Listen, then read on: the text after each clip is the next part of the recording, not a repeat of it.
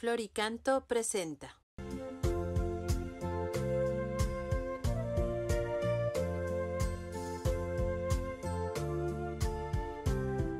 ¿Te has puesto a pensar cómo hacer vida el Evangelio? En el nombre del Padre, del Hijo y del Espíritu Santo. Amén. Palabra de vida. De el Santo Evangelio según San Lucas capítulo 8 versículos del 19 al 21. En aquel tiempo fueron a ver a Jesús su madre y sus parientes, pero no podían llegar hasta donde él estaba porque él había mucha gente. Y entonces alguien le fue a decir, tu madre y tus hermanos están allá afuera y quieren verte. Pero él respondió, mi madre y mis hermanos son aquellos que escuchan la palabra de Dios y la ponen en práctica. Palabra del Señor. Gloria a ti, Señor Jesús. Seguramente que tú ya tienes la respuesta ante la pregunta que yo hice, ¿cómo hacer vida el Evangelio?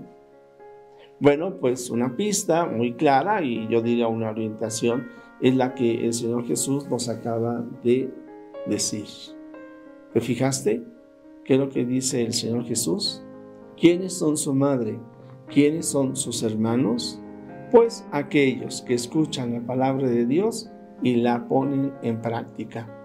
Es decir, si tú y yo y cualquier persona nos acostumbramos a leer la Sagrada Escritura y no la vemos como un acontecimiento del pasado, sino como algo que está impactando mi vida, tu vida el día de hoy. Porque Jesucristo es el mismo ayer, hoy y siempre. Y su palabra es viva y eficaz, de tal manera que siempre tiene un mensaje. Cada vez que nosotros la leemos, debemos de reflexionar como para preguntarnos, ¿y qué es lo que hoy Dios me pide? ¿O qué es lo que Dios dice? Y por eso yo te invito reflexiona lo que significan las palabras del el Señor Jesús. El otro día, un joven decía, bueno, pues es que es difícil vivir como el Señor Jesús hace eh, dos mil años y yo decía, no, no, es que el Señor Jesús está vivo y nosotros no vivimos de remembranzas del pasado, sino que actualizamos la palabra de Dios.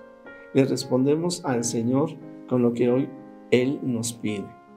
El fragmento del Evangelio, por ejemplo, es muy usado por los hermanos separados para decir que el Señor Jesús no quería a su madre y que entonces no hay por qué venerarla.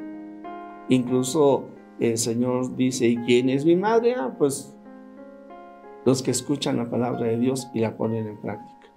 Pero además surge el término hermanos. Ah, ya ven, la Virgen María tuvo más hijos, o algunos dirán, bueno, no, es de que el que tenía los hijos era San José y, María los adopta, pero no, no es así. Eh, en tiempos del Señor Jesús, en el arameo, que era la lengua que se hablaba, era el lenguaje muy pobre y así como ahora nosotros decimos paisanos o primos, aquellos que eh, son de la familia o han nacido en el mismo lugar, eh, eh, aquí la Sagrada Escritura habla de hermanos, precisamente eh, de estos que son familiares, amigos, conocidos. Pero hago a un lado esto, porque tú y yo podemos ser familia del Señor Jesús y lo somos, por el bautismo. Somos hijos adoptivos de Dios. Jesucristo es nuestro hermano. Pero ¿quién, es la madre, los hermanos de Jesús? aquellos que escuchan la palabra de Dios y la ponen en práctica. Así es de que, pues, eh, de alguna forma yo me atrevería a decir, agradezco siempre los mensajes que envían ustedes, los agradezco siempre, y pues señalan que ha impactado algo o mucho lo que se dice en el Evangelio y el comentario que yo hice. Bueno, ¿Qué, hago yo para hacer estos comentarios?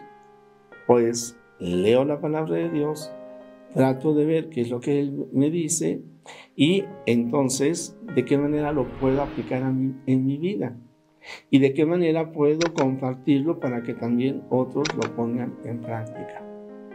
Yo diría ciertamente lectura de la palabra de Dios, meditación, oración, y descubrir el mensaje.